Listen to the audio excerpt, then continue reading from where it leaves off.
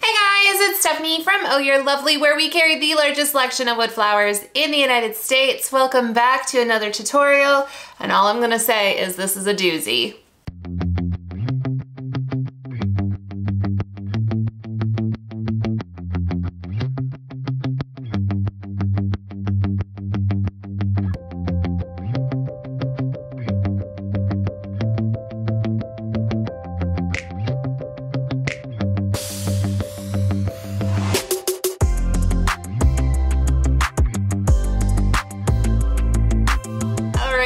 Guys, welcome back to another tutorial and yes, this is a doozy of a project. Uh, to date, this has been the longest project, clocking in at uh, just about a week that it took from start to finish to get this all together. Most of the tutorial, there's not a lot of talking, it's just a lot of doing because uh, there was a lot to do to create this beautiful pumpkin arch that I'm gonna share and show with you. I'm stinking excited. It turned out so, so dang well. All of that work was definitely worth it. Um, so enough of the chit chat. Let's let's get down to the nitty gritty of it all, and and let's get crafty. All right, let's let's go do it. Hey guys, so I'm coming from my garage. Um, the first thing that we're gonna need to do with this arch is take these adorable little pumpkins carve out their faces. Um, the one thing I will note is I'm not taking away the little nose because I am using a um, kind of like a Dremel, but this is by Ryobi, um, a power little drill um, cutter thingamajig. I don't know what they call them. I don't know what they call it, but I'm using one of those. And this in particular, even with some smaller like engraving bits and stuff, it was just such a pain in the butt to do. Um, so I'm just gonna leave it. It's fine because we're gonna be spray painting these after the fact.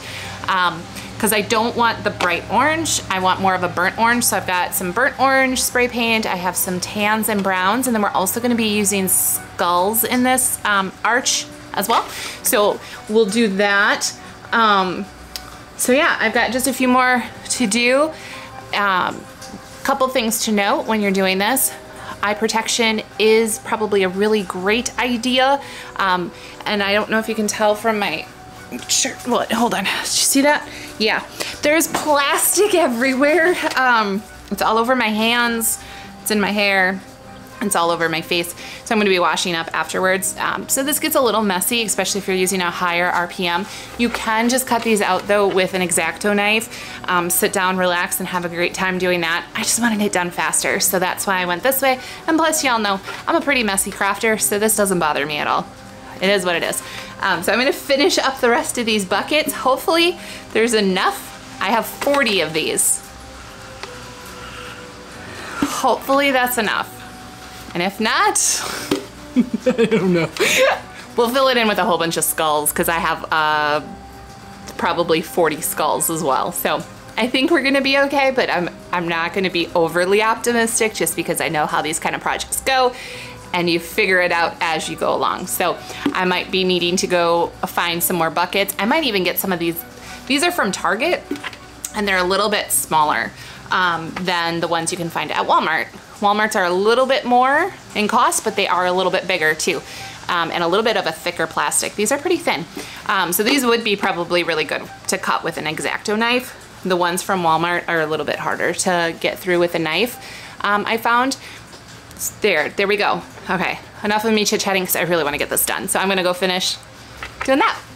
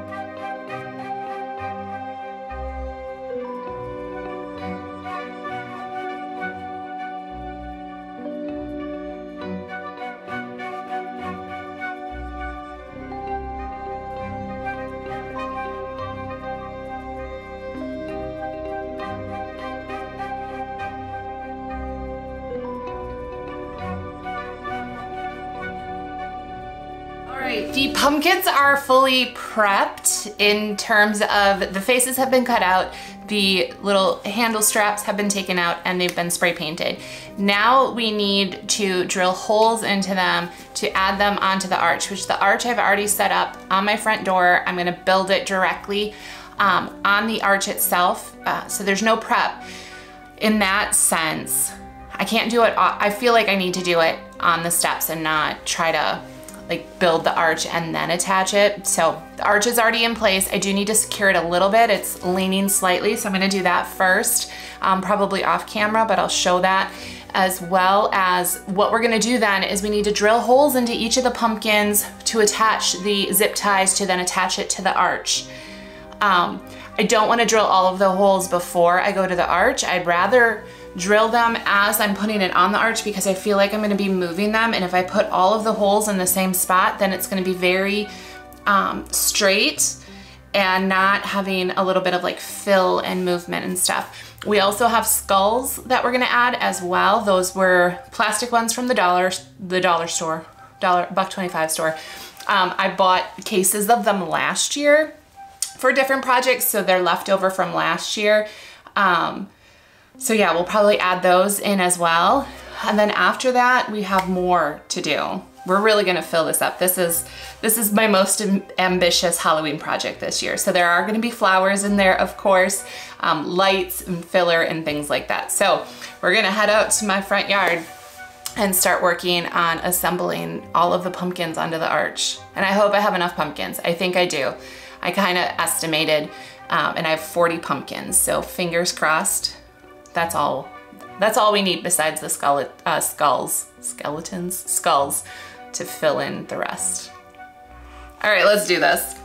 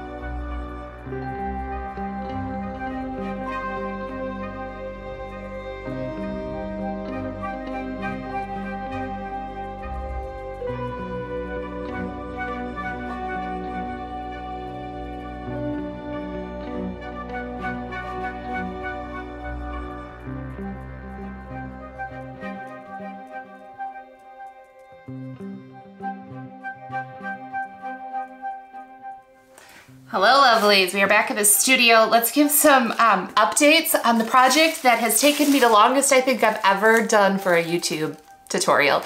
Um, we're a week in, a little, well, just under a week in on this project. It's taking a lot longer than I had anticipated, but that's okay. It's gonna be amazing, it's gonna look great, um, and I will have it for, I'm not taking it down after Halloween. You can't make me. I will for Christmas. Anywho, so pumpkins are up. Um, I did start putting in lights, but 300 lights was not enough the way I was doing it, which was just kind of dumping them in the buckets. Um, so I'm gonna change that. What I'm doing, I took them all out of the bucket and I'm starting to see if this will work instead. What I'm doing is I'm putting where the little holes were for attaching the handles, I'm sticking a light in there and that seems to be working. Um, and I'm gonna drill some more holes in the pumpkins while they're already up on the arch to add more lights in there, just so that it just kind of glows and gives the spooky feeling um, during the night. The other thing that I've already done off camera was I made a whole bunch of bundles of greenery and flowers. These are gonna be going into some of the buckets to fill in some spaces. Um, I also need to take the plastic skulls that I have and I need to wire a couple of those up or put sticks on them or something so we can slide them in. I was having issues with the skulls at the different sizes with the pumpkins and everything moving around and not sitting the way that I wanted. Um, so we're going to regroup on that part because there are some decent holes um, that I don't know that if flowers and filler will fill. Um, I'm also taking some of the flowers and filler that I used on one of the arch tutorials, not the um, pool noodle one, but the one where we used bundles again. Um, those have actually, I kept those outside to weather them and they've weathered very well. um, super, super pretty, but definitely have weathered. Um, so these are gonna go added to that. I think I have enough. I am gonna grab some more um, grass. I have a decent stash of that. And I also, um, I'm gonna grab, I think possibly some dried palms. not 100% sure on that. I wanna get everything else in first and then make that decision. We're gonna be heading back outside I have to finish the lights. I don't know that I'm gonna film that part, but I may just show you kind of the, the um, back end of it, what it kind of looks like, because it looks like a hodgepodge, but once it's all lit up at night, you're not even gonna notice that part, but we're getting there. We're getting there. It will be done by tomorrow.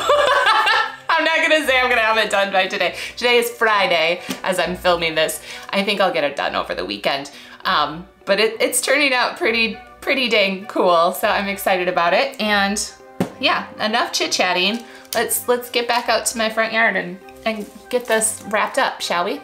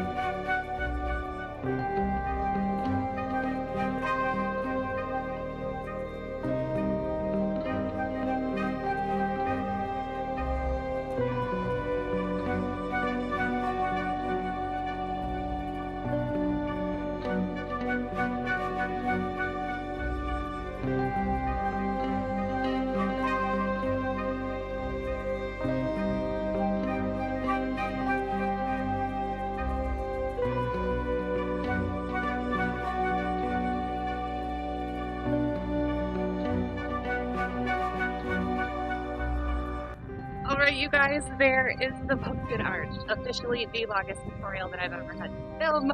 I hope you enjoyed it. Uh, there was a lot of ups and downs. Oh, the one thing I wanted to mention, if you're going to be spray painting a ton of stuff, there are these handy dandy little gadgets.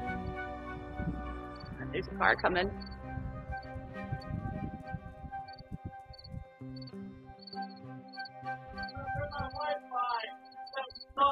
Oh, thank you. I'm going to be putting it on YouTube soon.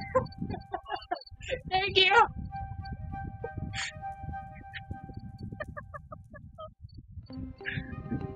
Uh, I've never filmed outside, like in my front yard. Um, it's hilarious. Okay, so let's start over again. Ooh, there is this handy dandy gadget um, that you can put on top of a spray can. Absolutely um, suggest putting using one of those. It's like a trigger pull then, and it makes it so much easier and your fingers won't cramp. So thank me later on that one. Um, if you guys have any questions about this, I know it's kind of probably a lot of just sped up stuff, but if you have any questions about this, let me know. Um, I can't remember if I said it not. Originally, I was putting the lights in, in the buckets, and that did not work out very well, so I drilled holes in the backs of all of the pumpkins and put the lights in that way.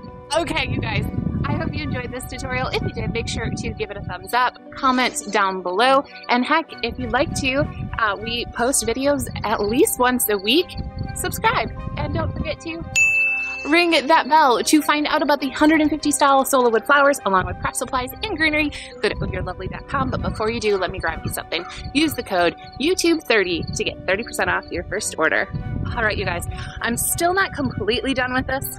We're, we're pretty close though, but I'm gonna grab some more pumpkins, uh, probably a couple of mums, and we'll really get this fully done, but that'll be in a couple of weeks.